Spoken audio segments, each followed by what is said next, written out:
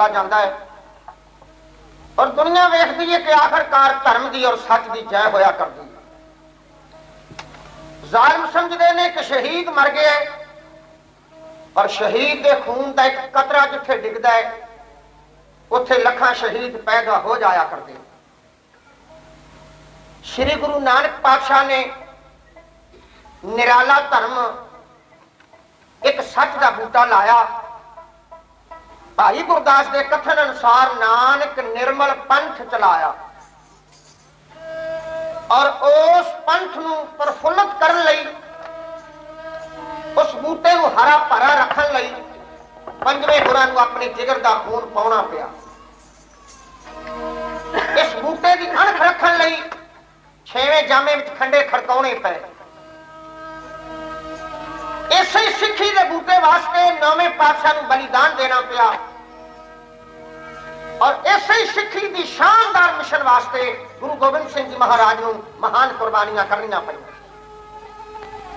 ਹਜ਼ੂਰ ਨੇ ਸਿਧਾਂਤ ਪੇਸ਼ ਕੀਤਾ ਕਿ ਜਦ ਕੋਈ ਹੀਲਾ ਬਾਕੀ ਨਾ ਰਵੇ, ਮਰਦ ਵਾਸਤੇ ਜਾਇਜ਼ੇ ਤਲਵਾਰ ਦੀ ਮੁੱਠ ਉੱਤੇ ਹੱਥ ਲੈ ਜਾ। ਡਾਕਟਰ ਆਪਰੇਸ਼ਨ ਕਰਦਾ ਹੈ, ਵੇਖਣ ਵਾਲਿਆਂ ਨੂੰ ਮਾਲੂਮ ਹੁੰਦਾ ਹੈ ਕਿ ਬੜੇ ਤੇਜ਼ ਹਥਿਆਰਾਂ ਨਾਲ ਕੱਟ ਵੱਢ ਰਿਹਾ ਹੈ, ਇਹ ਖਤਮ ਕਰ ਦੇਵੇਗਾ। ਲੇਕਿਨ ਦਰਅਸਲ ਡਾਕਟਰ ਦਾ ਆਪਰੇਸ਼ਨ ਮਰੀਜ਼ ਨੂੰ ਨਵੀਂ ਜ਼ਿੰਦਗੀ ਦੇਣ ਵਾਸਤੇ ਹੋਇਆ ਕਰਦਾ ਹੈ। ਤੋ ਜਦੋਂ ਜ਼ਾਲਮ ਸਰਕਾਰ ਜ਼ੁਲਮ ਦੀ ਇੰਤਹਾ ਕਰ ਦੇਵੇ, ਤੇ ਫਿਰ ਮਹਾਂਪੁਰਖ ਆਪਰੇਸ਼ਨ ਕਰਿਆ ਕਰਦੇ ਨੇ। ਮੈਂ ਕੱਲ ਦੇ ਪ੍ਰੋਗਰਾਮ ਵਿੱਚ ਆਪ ਜੀ ਦੇ ਸਾਹਮਣੇ ਮੈਦਾਨੇ ਜੰਗ ਪੰਗਾਣੀ ਪੇਸ਼ ਕੀਤਾ ਸੀ। ਪਹਿਲਾ ਜੰਗ ਹਜ਼ੂਰ ਨੇ ਪੰਗਾਣੀ ਵਿੱਚ ਲੜਿਆ। ਉਸ ਤੋਂ ਬਾਅਦ ਮੈਦਾਨੇ ਜੰਗ ਨਦੌਣ ਮੈਦਾਨੇ ਜੰਗ ਗੁਲੇਰ ਔਰ ਜੰਗੁਲੇ ਰਾਜਪੂਤ ਨਾਲ ਲੜਾਈ ਲੜੀ ਗਈ। ਚਾਰ ਲੜਾਈਆਂ ਇਹ ਲੜੀਆਂ ਗਈਆਂ, ਪੰਜ ਲੜਾਈਆਂ ਹਜ਼ੂਰ ਨੇ ਆਨੰਦਪੁਰ ਸਾਹਿਬ ਦੇ ਕਿਲੇ ਅੰਤ ਲੜੀਆਂ। ਦਸਵੀਂ ਲੜਾਈ ਸਰਸਾ ਕੰਢੇ ਲੜੀ ਗਈ। ਦੋ ਲੜਾਈਆਂ ਚਮਕੌਰ ਵਿੱਚ ਲੜੀਆਂ ਗਈਆਂ। ਇੱਕ ਵਾਰ ਤੇ ਜਗਪੁਰ ਖੇਤਰ ਸੂਰਜ ਗ੍ਰਹਿਣ ਦੇ ਮੇਲੇ ਤੋਂ ਉਪਦੇਸ਼ ਕਰਕੇ ਆ ਰਹੇ ਸੀ। तो जरनैल आरफ खां और सज्जाद बेग चढ़ के आए दूसरी बार जब चालियां ਸਿੰਘਾਂ ਨੂੰ 10 ਲੱਖ ਨਾਲ ਟਕਰਾਇਆ ਹੈ ਇਹ ਦੋ ਲੜਾਈਆਂ ਚਮਕੌਰ ਵਿੱਚ ਲੜੀਆਂ ਗਈਆਂ ਇਸ ਤੋਂ ਬਾਅਦ ਖਿਦਰਾਣੇ ਦੀ ਢਾਬ ਤੇ ਲੜਾਈ ਲੜੀ ਗਈ ਉਸ ਤੋਂ ਬਾਅਦ ਦਿੱਲੀ ਔਰੰਗਜ਼ੇਬ ਦੇ ਪੁੱਤਰ ਬਹਾਦਰ ਸ਼ਾਹ ਨੂੰ ਰਾਜਗੱਦੀ ਦਿਵਾਉਣ ਵਾਸਤੇ ਜੰਗ ਲੜੀ ਗਈ ਹਜ਼ੂਰ ਨੇ 14 ਜੰਗ ਲੜੇ ਗੁਰੂ ਗੋਬਿੰਦ ਸਿੰਘ ਜੀ ਮਹਾਰਾਜ ਕੇਵਲ 5 ਸਾਲ ਦੇ ਸਨ ਜਦ ਪਟਨੇ ਤੋਂ ਅਨੰਦਪੁਰ ਸਾਹਿਬ ਤਸ਼ਰੀਫ ਲਿਆਏ। ਹਜ਼ੂਰ ਦਾ ਜਨਮ ਹੈ ਪੋਸ ਦੀ ਸਪਤਮੀ ਸੰਮਤ 1723 ਵਿਕਰਮੀ ਮੁਤਾਬਕ 22 ਦਸੰਬਰ 1666 ਈਸਵੀ ਨੂੰ ਹਿੰਦੁਸਤਾਨ ਦੇ ਸੂਬੇ ਬਿਹਾਰ ਦੀ ਰਾਜਧਾਨੀ ਪਟਨੇ ਵਿੱਚ ਹੋਇਆ। ਬਚਪਨ ਦੇ ਕੌਤਕ ਪਟਨੇ ਵਿੱਚ ਕੀਤੇ ਨੇ। 5 ਸਾਲ ਦੇ ਸਨ ਜਦ ਸ਼੍ਰੀ ਅਨੰਦਪੁਰ ਸਾਹਿਬ ਪਹੁੰਚ ਗਏ। 7 ਸਾਲ ਦੀ ਆਯੂ ਸੀ, ਜਦ ਹਜ਼ੂਰ ਨੇ ਸ੍ਰੀ ਗੁਰੂ ਗ੍ਰੰਥ ਸਾਹਿਬ ਜੀ ਦਾ ਅਧਿਐਨ ਕਰ ਲਿਆ। ਬਚਪਨ ਵਿੱਚ ਸ਼ਸਤਰ ਵਿਦਿਆ ਦੀ ਟ੍ਰੇਨਿੰਗ ਲਈ ਗਈ। ਜਿਵੇਂ ਜਿਵੇਂ ਹਜ਼ੂਰ ਬਚਪਨ ਤੇ ਜਵਾਨੀ ਦੀਆਂ ਹੱਦਾਂ ਵਿੱਚ ਆਉਂਦੇ ਗਏ, ਚਿਹਰੇ ਉੱਤੇ ਕੋਈ ਅਨੋਖਾ ਜਿਹਾ ਜਲਾਲ ਆਉਂਦਾ ਗਿਆ। ਇਸੇ ਅਨੰਦਪੁਰ ਵਿੱਚ ਹਜ਼ੂਰ ਨੇ ਲਗਾਤਾਰ 33 ਸਾਲ ਉਸ ਧਰਤੀ ਨੂੰ ਭਾਗ ਲਾਏ। 1661 ਵਿਕਰਮੀ ਤੱਕ ਇੱਥੇ ਹੀ ਮਹਾਰਾਜ ਦੇ ਵਿਆਹ ਹੋਏ।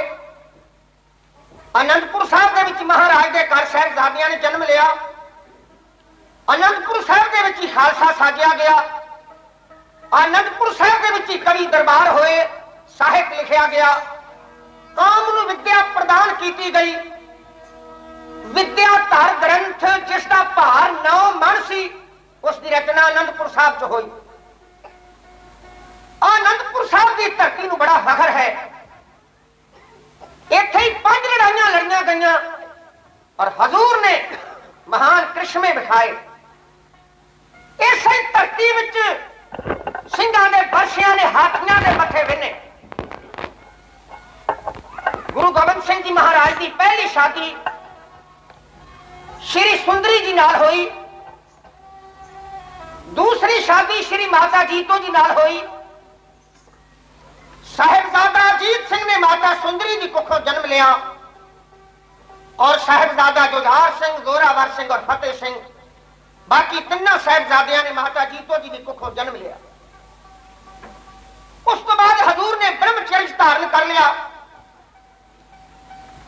ਤੋ ਜਦ ਸ਼੍ਰੀ ਪਰਮ ਪੂਜਿਆ ਮਾਤਾ ਸਾਹਿਬ ਕੌਰ ਜੀ ਜਿਨ੍ਹਾਂ ਨੇ ਮਨ ਨਾਲ ਫੈਸਲਾ ਕਰ ਲਿਆ ਸੀ ਕਿ ਸ਼੍ਰੀ ਗੁਰੂ ਗੋਬਿੰਦ ਸਿੰਘ ਜੀ ਮਹਾਰਾਜ ਨਾਲ ਵਿਆਹ ਕਰਵਾਉਣਾ ਹੈ ਉਸਦੇ ਮਾਪੇ ਮਾਤਾ ਪਿਤਾ ਆਏ। ਹਜ਼ੂਰ ਨੇ ਸਾਫ਼ ਸ਼ਬਦਾਂ ਵਿੱਚ ਕਿਹਾ ਕਿ ਅਸੀਂ ਬ੍ਰਹਮਚਰਜ ਧਾਰਨ ਕਰ ਚੁੱਕੇ ਹਾਂ, ਜੰਗਾਂ ਯੁੱਧਾਂ ਦਾ ਸਮਾਂ ਹੈ। ਹਜ਼ੂਰ ਨੇ ਅਕਾਲ ਪੁਰਖ ਨੇ ਚਾਰ ਸਾਹਿਬਜ਼ਾਦੇ ਬਖਸ਼ ਦਿੱਤੇ ਨੇ। ਉਹਨਾਂ ਨੇ ਕਿਹਾ, ਮਹਾਰਾਜ, ਸਾਡੀ ਲੜਕੀ ਨਾਲ ਕਿਸੇ ਸਿੱਖ ਨੇ ਹੁਣ ਵਿਆਹ ਨਹੀਂ ਕਰਵਾਉਣਾ। ਕਿਉਂਕਿ ਲੋਕ ਇਸ ਨੂੰ ਮਾਤਾ ਕਹਿਣਗੇ। ਇਸ ਨੇ ਸੁਪਨੇ ਵਿੱਚ ਹਜ਼ੂਰ ਨਾਲ ਵਿਆਹ ਕਰਵਾਇਆ ਹੈ। ਉਸ ਦਿਨ ਤੋਂ ਫੈਸਲਾ ਕਰ ਲਿਆ ਹੈ ਕਿ ਹਜ਼ੂਰ ਤੋਂ ਬਿਨਾਂ ਕਿਸੇ ਨਾਲ ਵਿਆਹ ਨਹੀਂ ਕਰਵਾਵੇਗਾ। ਮਹਾਰਾਜ ਨੇ ਕਿਹਾ, ਸਾਡਾ ਇਹਨਾਂ ਦਾ ਆਤਮਿਕ ਸੰਬੰਧ ਰਹੇਗਾ। ਅਗਰ ਮਨਜ਼ੂਰ ਹੈ ਤਾਂ ਗੁਰੂ ਘਰ ਦੀ ਸੇਵਾ ਕਰਨ ਵਾਸਤੇ ਆ ਸਕਦੇ ਨੇ। ਮਾਤਾ ਸਾਹਿਬ ਕੌਰ ਨੇ ਪ੍ਰਮਾਣ ਕਰ ਲਿਆ। ਹਜ਼ੂਰ ਦੀ ਤੀਸਰੀ ਸ਼ਾਦੀ ਇਹਨਾਂ ਨਾਲ ਹੋਈ, ਪਰ ਸਿੱਖ ਇਤਿਹਾਸ ਵਿੱਚ ਇਹਨਾਂ ਨੇ ਕਵਾਰਾ ਡੋਲਾ ਕਰਕੇ ਲਿਖਿਆ ਹੈ। ਮਹਾਰਾਜ ਦੇ ਕੇਵਲ ਇਹਨਾਂ ਨਾਲ ਆਤਮਿਕ ਸੰਬੰਧ ਸਨ। ਇੱਕ ਦਿਨ ਮਨ ਵਿੱਚ ਇੱਛਾ ਹੋਈ, ਕਹਿਣ ਲੱਗੇ, ਸੁੰਦਰੀ ਜੀ ਦੀ ਕੁੱਖੋਂ ਸਾਹਿਬਜ਼ਾਦਾ ਅਜੀਤ ਸਿੰਘ ਨੇ ਜਨਮ ਲਿਆ ਹੈ। ਜੀਤੋ ਜੀ ਦੀ ਕੁੱਖੋਂ ਤਿੰਨ ਸਾਹਿਬਜ਼ਾਦੇ ਹੋਏ ਨੇ। ਮੇਰੀ ਵੀ ਦੁਨੀਆ ਵਿੱਚ ਕੋਈ ਨਿਸ਼ਾਨੀ ਰਹਿ ਜਾਂਦੀ ਤਾਂ ਬਿਹਤਰ ਸੀ। ਮਹਾਰਾਜ ਨੇ ਕਿਹਾ, ਸਾਹਿਬ ਕੌਰ, ਤੁਹਾਡੇ ਨਾਲ ਇਕਰਾਰ ਕੀਤਾ ਹੈ ਪ੍ਰਣ ਕੀਤਾ ਹੈ ਵਚਨ ਕੀਤਾ ਹੈ ਹਾਂ, ਅਗਰ ਨਿਸ਼ਾਨੀ ਰਹਿਣ ਦੀ ਇੱਛਾ ਹੈ, ਤਾਂ ਖਾਲਸਾ ਤੁਹਾਡੀ ਝੋਲੀ ਵਿੱਚ ਪਾਇਆ ਸੀ।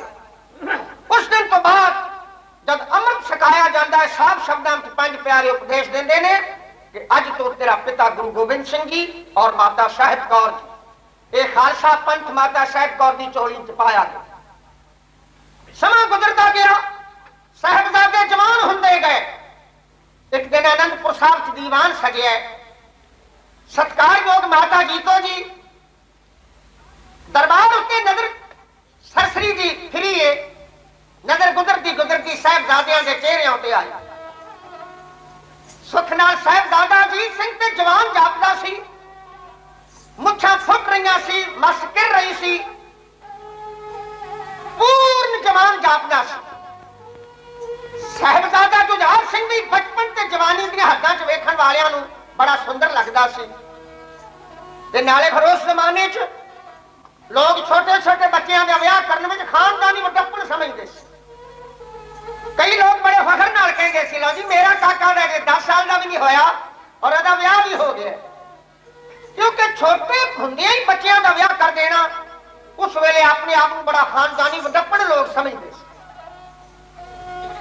ਤੋਂ ਕਹਿੰਦੇ ਨੇ, ਸਾਹਿਬਜ਼ਾਦੇ ਜਵਾਨ ਹੁੰਦੇ ਜਾ ਰਹੇ ਨੇ। ਜੁਝਾਰ ਸਿੰਘ ਵੀ 14 ਸਾਲ ਤੋਂ ਲੰਘ ਤੁਰਿਆ ਸਾਹਿਬਜ਼ਾਦਾ ਅਜੀਤ ਸਿੰਘ 17 ਸਾਲ ਤੋਂ ਲੰਘ ਤੁਰਿਆ ਚਾਰੇ ਸਾਹਿਬਜ਼ਾਦੇ ਸੁੰਦਰ ਸਜੇ ਹੋਏ ਨੇ। ਮਾਤਾ ਜੀ ਤੋਂ ਜੀ ਹੱਥ ਜੋੜ ਕੇ ਬੇਨਤੀ ਕਰਨ ਲੱਗੇ, ਸਾਹਿਬ ਲੋਕਾਂ ਦੇ ਘਰਾਂ ਵਿੱਚ ਵਿਆਹ ਹੁੰਦੇ ਨੇ ਸ਼ਾਦੀਆਂ ਹੁੰਦੀਆਂ ਨੇ। ਗੁਲਦਸਤਾ। ਸਾਡੇ ਵੀ ਮਨ ਵਿੱਚ ਇੱਛਾ ਹੈ। ਆਪਣੇ ਸਾਹਿਬਜ਼ਾਦੇ ਵੇਖੋ ਜਵਾਨ ਹੋ ਰਹੇ ਨੇ। ਤੁਸੀਂ ਅਜੇ ਤੱਕ ਇਹਨਾਂ ਦੀ ਮੰਗਣੀ ਵੀ ਨਹੀਂ ਕੀਤੀ ਕਦੇ ਖਿਆਲ ਨਹੀਂ ਸੋਚਿਆ। ਵੇਖੋ ਕਿੰਨੇ ਕਿੰਨੇ ਉੱਚੇ ਘਰਾਣਿਆਂ ਦੇ ਰਿਸ਼ਤੇ ਆ ਰਹੇ ਨੇ। ਤੇ ਆਪਾਂ ਵੀ ਸਾਹਿਬਜ਼ਾਦਾ ਅਜੀਤ ਸਿੰਘ ਦੀ ਜੁਝਾਰ ਸਿੰਘ ਦੀ ਮੰਗਣੀ ਕਰੀਏ। ਤਾਂ ਕਿ ਸਾਡੇ ਘਰ ਵੀ ਬੈਂਡ ਵਾਜੇ ਵੱਜਣ ਖੁਸ਼ੀਆਂ ਮਨਾਈਆਂ ਜਾਣ ਆਤਿਸ਼ਬਾਜ਼ੀ ਚੱਲੇ। ਦੂਰ ਦੂਰ ਤੋਂ ਸੰਗਤਾਂ ਆਉਣ ਘਰ ਵਿੱਚ ਖੁਸ਼ੀ ਮਨਾਈ ਜਾਏ। ਮਹਾਰਾਜ ਸੁਣ ਕੇ ਗੰਭੀਰ ਹੋ ਗਏ। ਕਹਿਣ ਲੱਗੇ, ਜੀਤੋ ਜੀ ਤੁਹਾਨੂੰ ਨਹੀਂ ਪਤਾ, ਤੁਹਾਡੇ ਚੌਣੀ ਸਾਹਿਬਜ਼ਾਦਿਆਂ ਦੀ ਮੰਗਣੀ ਹੋ ਚੁੱਕੀ ਹੈ ਸ੍ਰੀ ਵਾਹਿਗੁਰੂ ਵਾਹਿਗੁਰੂ ਮਹਾਰਾਜ, ਸਾਨੂੰ ਇਸ ਗੱਲ ਦਾ ਪਤਾ ਹੀ ਨਹੀਂ, ਸਾਨੂੰ ਪੁੱਛਿਆ ਤੱਕ ਨਹੀਂ ਕਿੱਥੇ ਮੰਗਣੀ ਹੋ ਗਈ ਹੈ ਅਸੀਂ ਤੇ ਆਪਣੇ ਪਰਮ ਪੂਜਿਆ ਮਾਤਾ ਗੁਜਰੀ ਜੀ ਨਾਲ ਗੱਲਾਂ ਕਰ ਰਹੇ ਸਾਂ। ਤੇ ਵੱਡੇ ਮਾਤਾ, ਰਾਜ ਮਾਤਾ ਜੀ ਵੀ ਕਹਿੰਦੇ ਸੀ ਕਿ ਸਾਨੂੰ ਕੋਈ ਪਤਾ ਨਹੀਂ। ਨਹੀਂ ਜੀਤੋ ਜੀ, ਇਹਨਾਂ ਦੀ ਮੰਗਣੀ ਹੋ ਚੁੱਕੀ। ਅਗਰ ਗੱਲ ਖੋਲਣੀ ਚਾਹੁੰਦੇ ਜੇ, ਤਾਂ ਆਪ ਤੁਹਾਨੂੰ ਦੱਸੀਏ, ਹਜ਼ੂਰ ਮਾਤਾ ਜੀਤੋ ਜੀ ਨਾਲ ਕੁਝ ਬਚਨ ਕਰ ਰਹੇ ਨੇ, ਕੁਝ ਆਉਣ ਵਾਲੇ ਸਮੇਂ ਦੀਆਂ ਬੁਧਾਰਤਾਂ ਪਾਉਂਦੇ ਨੇ, ਉਹਨਾਂ ਬੁਧਾਰਤਾਂ ਨੂੰ, ਇਸ਼ਾਰਿਆਂ ਨੂੰ ਕਿਸੇ ਗੀਤਕਾਰ ਨੇ ਐਵੇਂ ਦੱਸੀ माता जी तो कहेंगी, मैंने दक्षी बाजा माता जी तो कहेंगी, मैंने दक्षी कल जीवा लिया। ऐसे आती।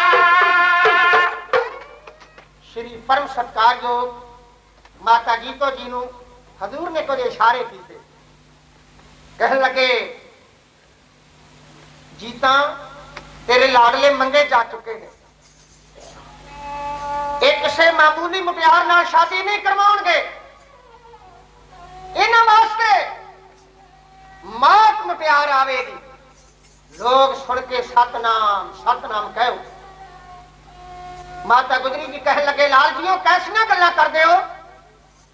ਮੇਰੇ ਚਾਰੇ ਪੋਤਰੇ ਕਿੰਨੇ ਸੁੰਦਰ ਨੇ। ਲੋਕ ਤਾਰੀਫਾਂ ਕਰਦੇ ਨੇ। ਕਹਿੰਦੇ ਨੇ, ਦਾਦੀ ਪੋਤਿਆਂ ਨੂੰ ਵੇਖ ਵੇਖ ਆਖੇ, ਇਹ ਬੰਸ ਦੀਆਂ ਨਿਸ਼ਾਨੀਆਂ ਹੋਣਗੀਆਂ। ਪਰ ਪਿਤਾ ਪੁੱਤਰਾਂ ਨੂੰ ਵੇਖ ਕਹੇ ਅੱਗੋਂ, ਦੇਸ਼ ਲਈ ਕੁਰਬਾਨੀਆਂ ਹੋਣਗੀਆਂ। ਦਾਦੀ ਆਖਦੀ ਜਦੋਂ ਜਵਾਨ ਹੋਸਨ ਅੱਖਾਂ ਖੂਬ ਮਸਤਾਨੀਆਂ ਹੋਣਗੀਆਂ ਪਰ ਪਿਤਾ ਆਖਦਾ ਕਿਸੇ ਰਣ ਖੇਤ ਅੰਦਰ ਬਾਹਰ ਨਿਕਲੀਆਂ, ਆਨੀਆਂ ਹੋਣਗੀਆਂ ਦਾਦੀ ਆਖਦੀ, ਚੌਹਾਂ ਦੇ ਰੂਪ ਉੱਤੇ ਖੂਰਾ ਆਣ ਦੀਵਾਨੀਆਂ ਹੋਣਗੀਆਂ ਪਿਤਾ ਆਖਦਾ ਹੋਵੇਗੀ ਮੌਤ ਲਾੜੀ, ਲਾਵਾਂ ਜੂਝ ਐਲਾਨੀਆਂ ਹੋਣ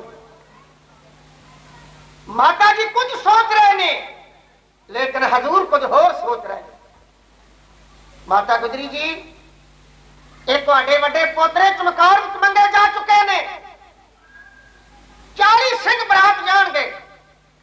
ਤੇ ਜਿਹੜੇ ਤੁਹਾਡੇ ਛੋਟੇ ਪੋਤਰੇ ਨੇ, ਇਹਨਾਂ ਦੀ ਬਰਾਤ ਨਾਲ ਤਾਂ ਸ਼ਾਇਦ ਤੁਸੀਂ ਇਕੱਲੇ ਹੀ ਜਾ ਸਕੋ। ਲਾਲ ਜੀ ਤੁਸੀਂ ਕੈਸੀਆਂ ਗੱਲਾਂ ਕਰਦੇ ਹੋ। ਮਾਤਾ ਜੀ ਥੋੜੇ ਸਮੇਂ ਦਾ ਉਹ ਲਾਏ, ਸਮਾਂ ਆਉਣ ਵਾਲਾ ਹੈ, ਪਤਾ ਲੱਗ ਜਾਏ। ਮਾਤਾ ਜੀ ਤੋਂ ਜੀ ਮਾਤਾ ਸੁੰਦਰੀ ਜੀ ਕੁਝ ਉਦਾਸ ਹੋ ਕੇ ਮਹਿਲਾ ਨੂੰ ਆ ਗਏ। ਪਰ ਬਹੁਤਾ ਸਮਾਂ ਨਹੀਂ ਗੁਜ਼ਰਿਆ, ਲੜਾਈਆਂ ਸ਼ੁਰੂ ਹੋ ਗਈਆਂ।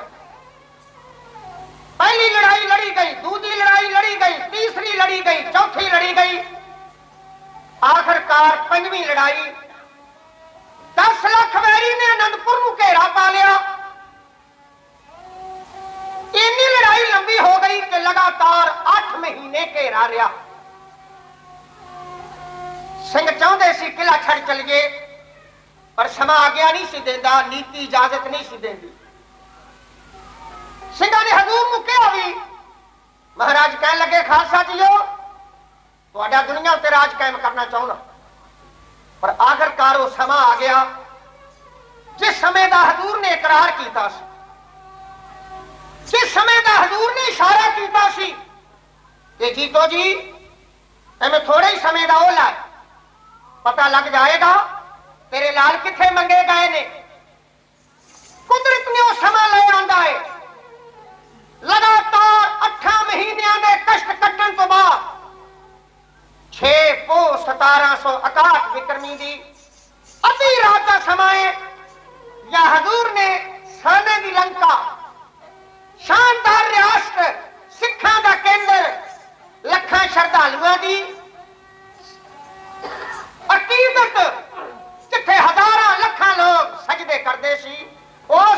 ਉਸ ਨੂੰ ਮਹਾਰਾਜ ਨੇ ਸਦਾ ਵਾਸਤੇ ਆਇਓ ਫਤਿਹ ਬੁਲਾਓ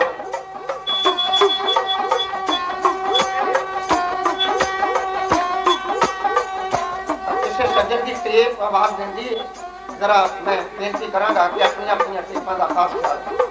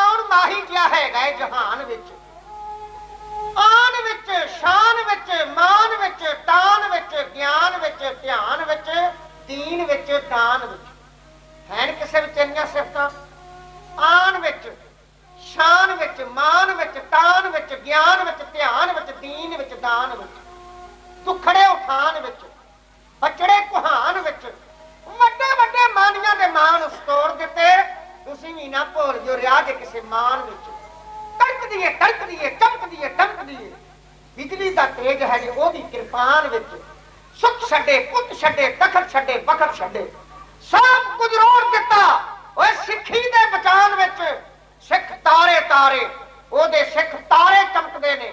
ਆਪ ਚੰਦ ਚਮਕਦਾ ਸਿੱਖੀ ਅਸਮਾਨ ਵਿੱਚ।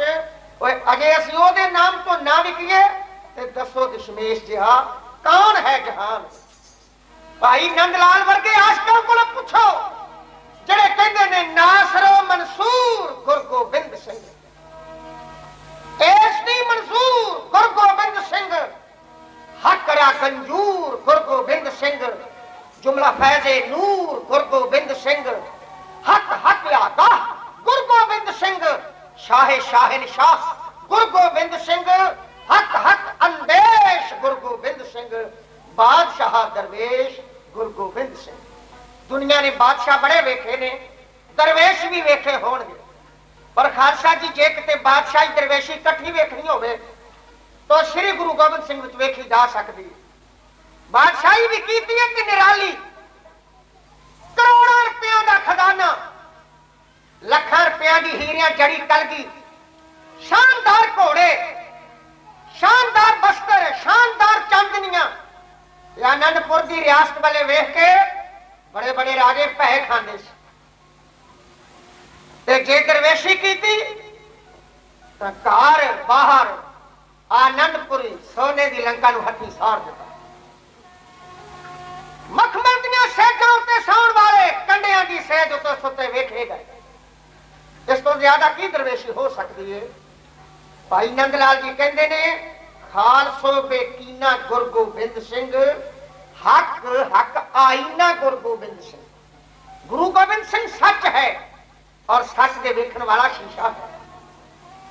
ਕਾਦਰ ਹਰ ਕੌਰ ਗੁਰ ਗੋਬਿੰਦ ਸਿੰਘ ਬੇਕਸਾਰਾ ਯਾਰ ਗੁਰੂ ਗੋਬਿੰਦ ਸਿੰਘ। ਉਹ ਜਿਹਦੀ ਕੋਈ ਬਾਹ ਫੜਨ ਵਾਲਾ ਨਹੀਂ ਉਸ ਦਾ ਯਾਰ ਗੁਰੂ ਗੋਬਿੰਦ ਸਿੰਘ ਬਣਦਾ ਇੱਕ ਹੋਰ ਬੜੀ ਕਮਾਲ ਦੀ ਗੱਲ ਆਖੀ ਹੈ ਭਾਈ ਨੰਦ ਲਾਲ ਨੇ, ਕਹਿੰਦਾ ਰੂਹ ਹਰ ਦਰ ਜਿਸਮ ਗੁਰ ਗੋਬਿੰਦ ਸਿੰਘ, ਨੂਰ ਹਰ ਦਰ ਚਸ਼ਮ ਗੁਰ ਗੋਬਿੰਦ ਸਿੰਘ।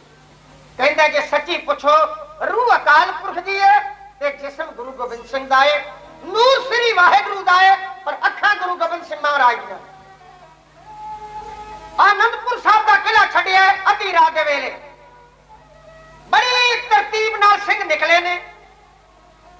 ਕਰੋੜਾਂ ਰੁਪਿਆ ਦਾ ਖਜ਼ਾਨਾ ਸਤਲੁਜ ਵਿੱਚ ਦਿੱਤਾ ਗਿਆ। ਮਖਮਲ ਦੀਆਂ ਚਾਂਦਰੀਆਂ ਅੱਗ ਲਾ ਕੇ ਫੂਕ ਦਿੱਤੀਆਂ ਗਈਆਂ ਨੇ। ਅਨੇਕਾਂ ਜਾਨਵਰ ਅੱਠਾਂ ਮਹੀਨਿਆਂ ਵਿੱਚ ਭੁੱਖ ਨਾਲ ਸ਼ਹੀਦ ਹੋ ਗਏ ਨੇ। ਸ਼ੇਰਾਂ ਵਰਗੇ ਸੂਰਮੇ ਸੁੱਕ ਸੁੱਕ ਕੇ ਪਿੰਜਰ ਹੋ ਚੁੱਕੇ ਸੀ। ਦੁਸ਼ਮਣ ਬੜੀਆਂ ਕਸਮਾਂ ਖਾਂਦਾ ਸੀ, ਕੁਰਾਨ ਦੀਆਂ ਕਸਮਾਂ। ਬਾਈ ਤੁਹਾਡੇ ਰਾਜੇ ਗਊ ਦੀ ਕਸਮ ਖਾਂਦੇ ਸੀ।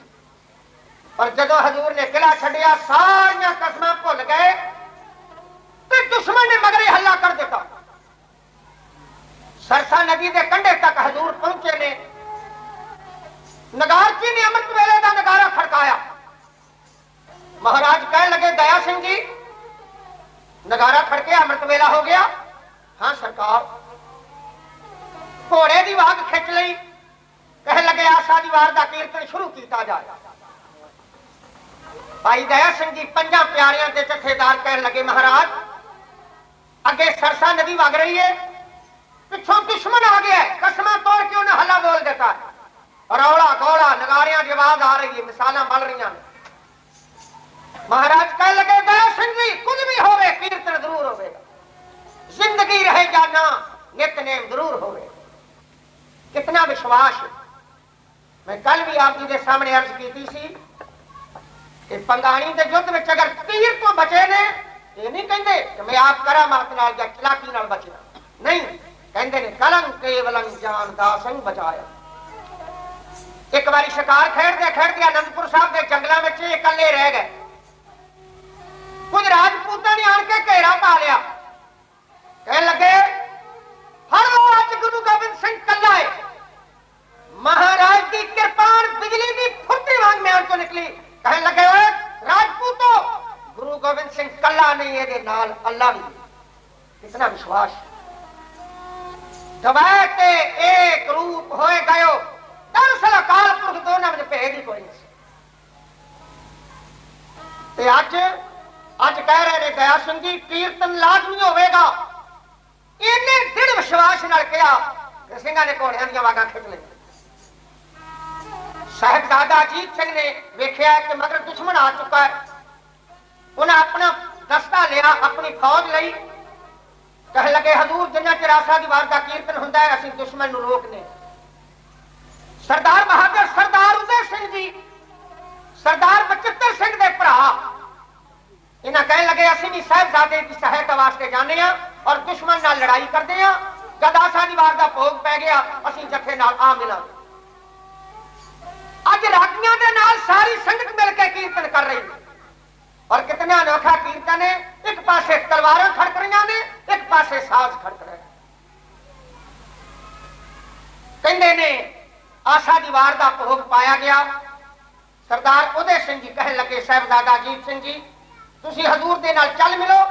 ਜਿੰਨਾ ਚਿਰ ਸਰਸਾ ਨਦੀ ਤੋਂ ਸਿੰਘ ਪਾਰ ਨਹੀਂ ਹੋ ਜਾਂਦੇ, ਅਸੀਂ ਛਾਤੀਆਂ ਢਾ ਕੇ ਲੜਾਂਗੇ।